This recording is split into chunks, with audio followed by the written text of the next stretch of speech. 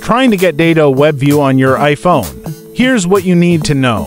First, it's important to understand that Dodo WebView isn't a game or an app you can download from the App Store. A WebView is a technical component that allows an app to display web pages inside it. If you are trying to access a specific website or service named Dodo, your best and likely only option is to use the Safari browser on your iPhone. Simply open Safari and type in the website's address directly.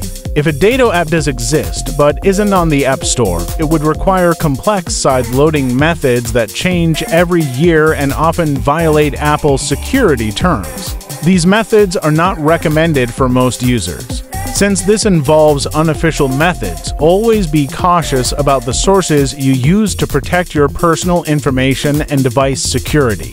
Your most straightforward path is to try accessing the service through your web browser.